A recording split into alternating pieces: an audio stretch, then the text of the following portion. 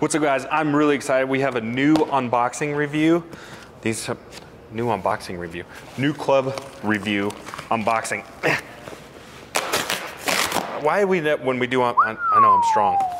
Why when we do unboxing reviews we never have a A knife? bo- a box cutter around? Yeah.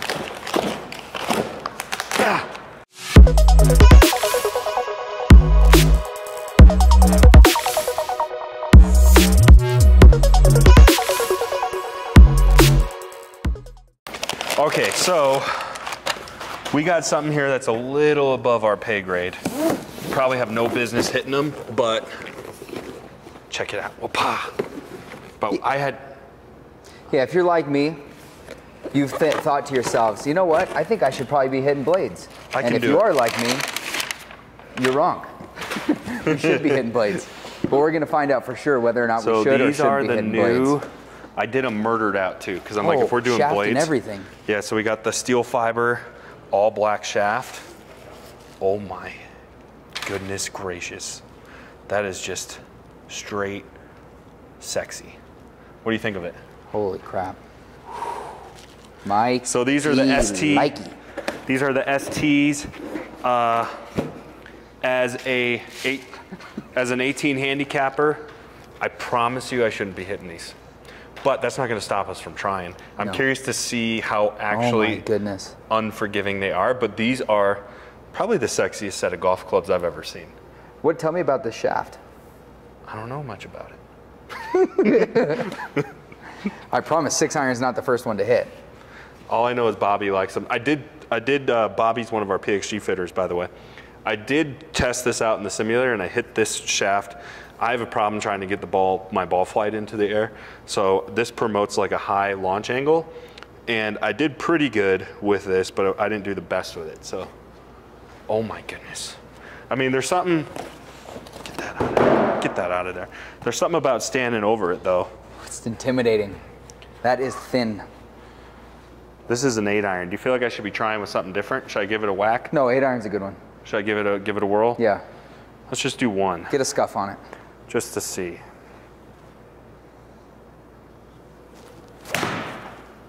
I mean, I didn't Nose dive. blow it, but definitely not my Let me get it 140 yards. It's the thing is with blades is if you're not directly in the sweet spot, you're gonna lose a lot of yards. Go ahead. So I normally hit my eight iron. Is this set for altitude? Yeah. So we play at altitude at 5280 in Colorado. So I normally hit my eight iron about 165, 170. Nope. I, I mean, I, I know I'm not hitting it in the sweet spot. Well, and this isn't your first set of blades you've tried. No, I've had a Nike set of blades, and uh, that lasted about half a season before I realized I was in over my head. Yeah. You want to give it a whirl? Yeah. Here's the thing: when you actually do find a sweet spot, it's Go a thing of go beauty. ahead. No, you missed it. I did a Oh, I see. like a chef's kiss. My back was turned. Yeah, sorry about that. I might not hit this good, not because of the blades, but because it's not my lie angle. I'm just kidding. What do you normally hit your eight iron? Uh, 185? Yeah, you're, you're definitely losing yardage. I don't know. Nope. I'll be a son of a gun. 186. Did you sweet spot it? Yeah, that felt really good. Let's see.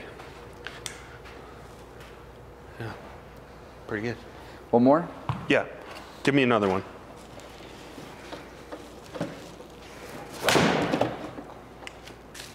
Oh. All right, let's get Bobby down here. Oh, oh my God. 196. You kidding me? Here's the thing. That's two out of, I'll do that two out of 10 times, I bet. Tayte, I'm, I'm like an 18, Tayte's a 9, so he's twice as good as me. So if, you might have an easier time with a blade.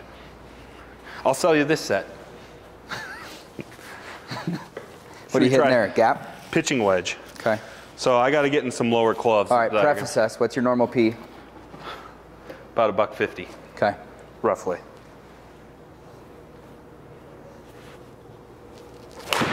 Thin. Caught her thin. Man, for a blade miss hit, though, that's the one. It actually did get in the air. Yeah. Now we're gonna test these up against like the Gen 5s. So being just a solid, here's the thing, it's solid milled club head. So there's no infill, there's no gel.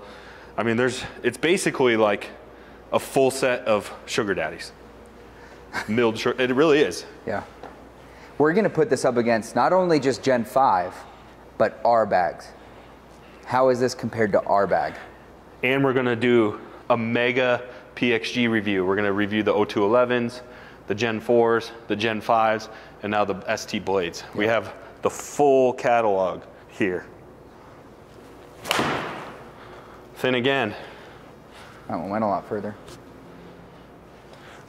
Let me catch one. I just need Yeah. to catch one. Just feel that butter. It's a pitching wedge. I should be able to catch a pitching wedge.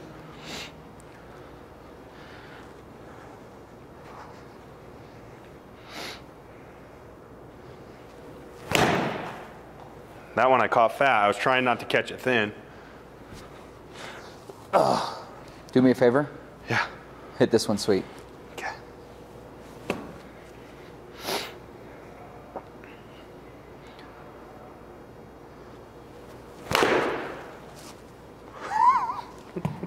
Trevor and I, we played uh, Pebble Beach and we had a caddy. His name was David.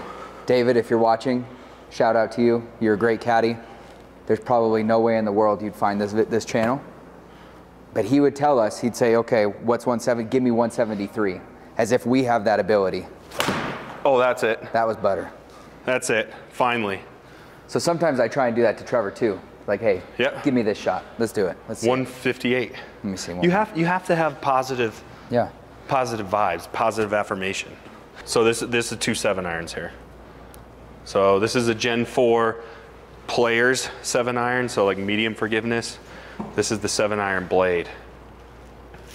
So a lot thinner, a lot uh, a lot harder to hit because you're room for error. So obviously lower handicap guys play these clubs Because they're finding the sweet spot. they're finding the sweet spot. But also, the advantage to them is after you can consistently hit the sweet spot, then what it's time to do, it's time to shape your shots. You see guys like Jordan Spieth and stuff, they'll, they're talking to their caddy like, okay, I think, I think this is a soft draw here at that flag stick. Like, they're- can see the shot into the flag stick. Soft draw into the flag stick, like I'm happy if I hit the green. Yeah. I'm gonna take dead aim. Yeah. Yeah. if mine's moving left, it's a snap hook. Oh yeah, yeah. When I try to play a slight draw, it's a duck hook. like, watch out for Timmy in the yard Yeah. because he's going down. Yeah. Poor Timmy on his backyard swing set. Oh, see, Timmy's dead there. Timmy? What is that? Seven iron. Oh, that's not.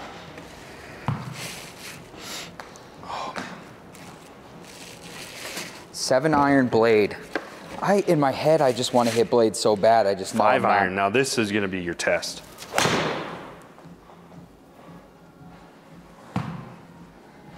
So they do have the perimeter, not the perimeter weighting, but the the weighting. So that is the one adjustable piece, is the heavier or softer weights. I mean, look at this. It's like paper thin.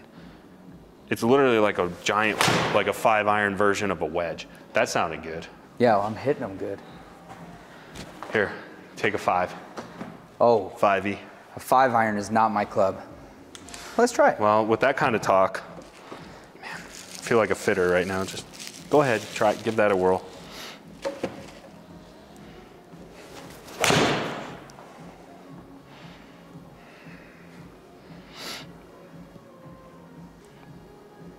I mean, you must have sweet spotted that one, huh? 226? Yeah. Let's give it one more go.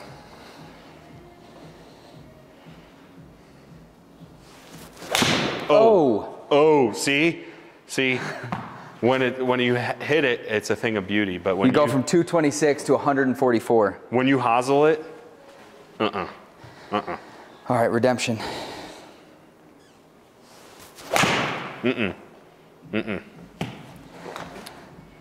We're gonna have to do a side by side with the Gen 5s and and measure specifically like um, we almost want to be hitting miss hits. Yeah. To see what happens on the miss hits. There's sweet spot again. Oh, look at that. That's like a tiger stinger right there. You flew 209. 235 iron. See, there you go. Yes, There's please. Two sweet spots, two miss hits. No room for error. Mm-hmm. Mm-hmm. I'll be a son of a gun. But chances are, at your skill level, even though you're better than me, Still not there. you're going to have a lot of mishits out on the golf course. Yeah. So I don't know if- time. I don't know if it makes sense for you, but we'll we'll have to put it in the sim, and uh, let's do that What's the sim short for? Simulator. simulator. Yeah. Let's let's uh, let's put them up against Gen 5 and try some mishits. See what happens. Let's do it. All right, so we we were kind of just all over the place, so we figured we better get dialed in here a little bit. So we put our stickers on our seven iron. Which, by the way, again, just how beautiful is that thing? And we're gonna test it and really see how bad an off center hit is, because that's what I want to know: is how much are we getting punished punished for off center? Yeah. Should I go first? Okay. Let's see if I can hit one the center of the club face. Probably unlikely. Oh my goodness. Toe. 75 yards. Oh. That I heeled it a little bit. A little thin. Not too bad.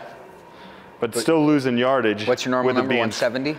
uh, 180-ish. So that was 159, so I lost about 20 yards. I feel like with my Gen 5s, they're gonna be a little more forgiving than that. But let's see. Yeah, just thin and a little toey. All right, let's see what Tayte can do here. Still, I'm still not in love. Pulled it a bit, but That was the sweet spot. yeah, center of the club. Oh, let me try one more. Oh, you still got 156 out of it. And that one was more sweet spot, just left it wide open. You just heeled it. Yeah, let's see what it says. No, it here. wasn't sweet spot. It was way off the heel. Oh, yeah. Yeah.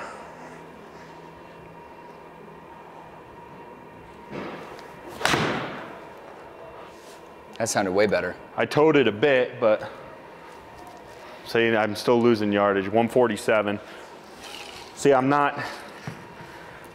It was a pretty good spot. You know, it's a little off center, but pretty good spot. You got to be you got to be right in the middle. I feel like, don't you think? Yeah. Right in the middle.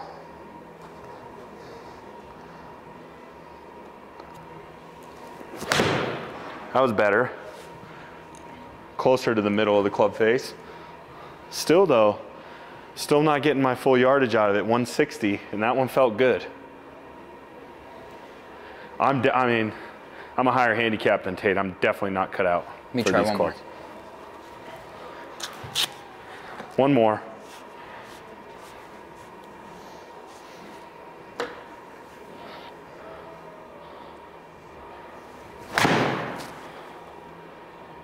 That's pretty good.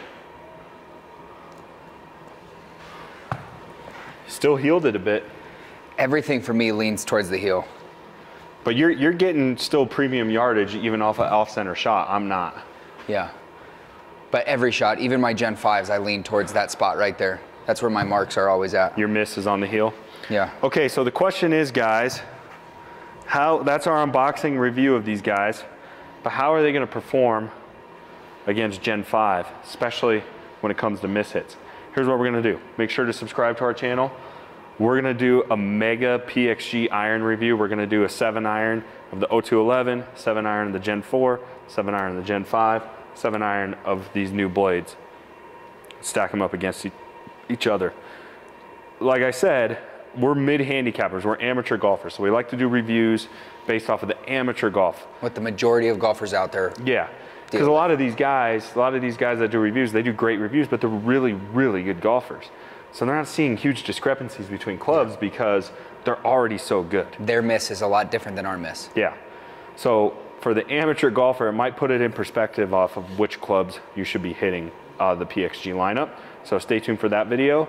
Make sure to subscribe to our channel. Check out our awesome barbecue showroom and our barbecue uh, channel as well. We'll see you guys next time.